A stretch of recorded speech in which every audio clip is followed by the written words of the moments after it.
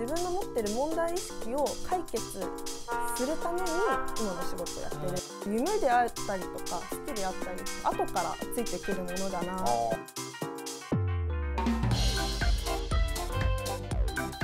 新しいホテルを作る仕事でして新しい宿泊体験をしていくと今の若い子とかってアナログプレイとか使わないので、あこういう世界があるんだってことをいうライフスタイル体験のできるホテル、はい旅行に出てるうちの時間の大半ってホテルの中にいるわけじゃないですか、チェックインしてからチェックアウトの十何時間そこが絶対楽しいに越したことはなくて。ビジネスってお金で数字で管理できることで、うん。ある程度のことは数字でジャッジすることができると思っていてホテルやると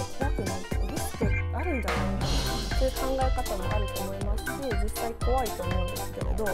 そのリスクが何パーセントの確率で起きて実際に起きた時はどういう喪失があるのかってある程度数字で割り出すことができてそれに対してうまくいった場合の確率とかもある程度出すことができる感情に支配されずにこう数字でこれはやるべきやらないべきある程度ジャッジできるっていうふうに思ってそれがこう無意味な困難無意味な恐怖感とか